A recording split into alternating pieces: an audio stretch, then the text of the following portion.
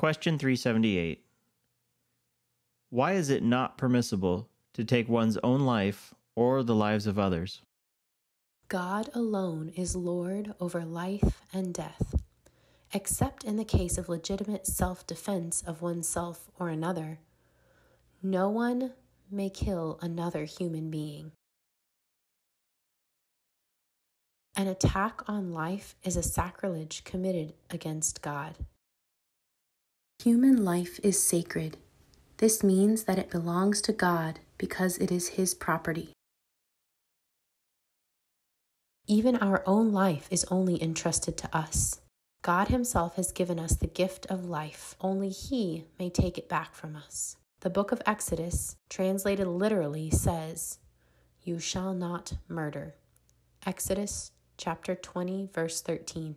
The only exceptions are when you're defending yourself or another person, whether in peace or war. Question 379 What sorts of attacks on human life are forbidden by the fifth commandment?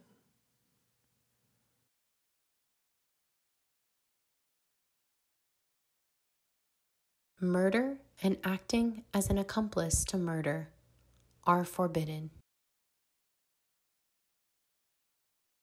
Killing unarmed civilians during a war is forbidden. The abortion of a human being from the moment of conception on is forbidden. Suicide, self mutilation, and self destructive behavior are forbidden.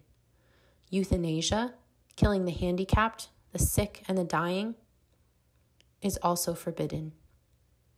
Today, people often try to get around the fifth commandment with seemingly humane arguments.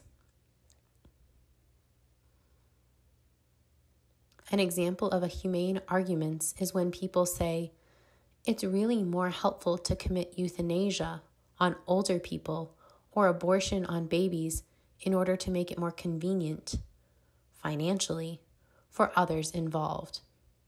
But neither euthanasia nor abortion is a humane solution. That is why the church is perfectly clear on these questions. Whoever participates in an abortion, forces a woman to undergo an abortion, or merely advises her to do so is automatically excommunicated just as with other crimes against human life.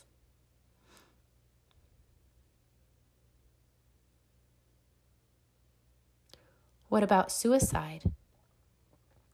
Suicide is a forbidden evil and is never what God wants for a person. But not everyone who has committed suicide has committed a mortal sin. If a psychologically ill person commits suicide, responsibility for the act of killing is often diminished. And, in many cases, completely annulled because a person with mental illness is not thinking rationally in that situation.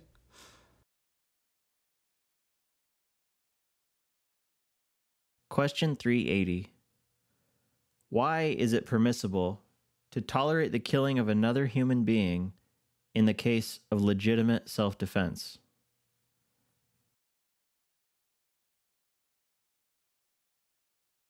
Someone who is actually attacking the lives of others may and must be stopped, if necessary, by killing the attacker himself. Legitimate defense against aggression is not only a right for someone who bears the responsibility for the lives of others, it can even become a duty. For example, soldiers or police officers bear the responsibility to defend other people's lives, and sometimes killing another person is the only way to protect others.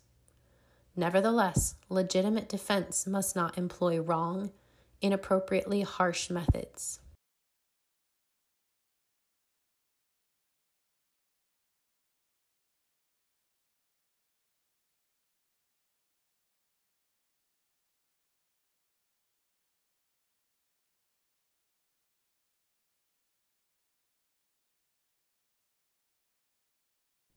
Hi, I'm Katie Locus. This is my sign name. I'm from the Archdiocese of Kansas City in Kansas.